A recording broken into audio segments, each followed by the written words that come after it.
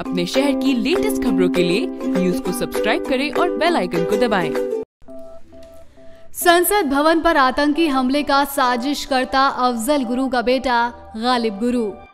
दसवीं में पिचानवे प्रतिशत और बारहवीं में अट्ठासी फ़ीसदी अंक हासिल करने के बाद अब डॉक्टर बनना चाहता है। गालिब फ़िलहाल मेडिकल एंट्रेंस एग्ज़ाम की तैयारी कर रहा है। गालिब का कहना है कि वो तुर्की में मेडिकल की पढ़ाई के लिए जाना चाहता है। लेकिन अभी तक उसके पास पासपोर्ट ही नहीं है।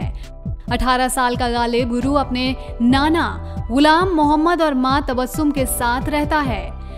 गालिब इन दिनों मेडिकल एग्ज़ाम की तैयारियों में लगा हुआ है, जो पाँच मई को होनी है। गालिब ने कहा, अगर वो इस परीक्षा को पास नहीं कर पाया तो उसे तुर्की के कॉलेज में स्कॉलरशिप का ऑफ़र है।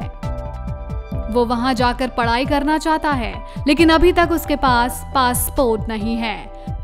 गौरतलब है कि अफजल गुरु को फांसी मिलने के बाद उसकी पत्नी तबस्सुम ने कहा था कि अब उसका परिवार शांति के साथ बाकी ज़िंदगी जीना चाहता है। News desk.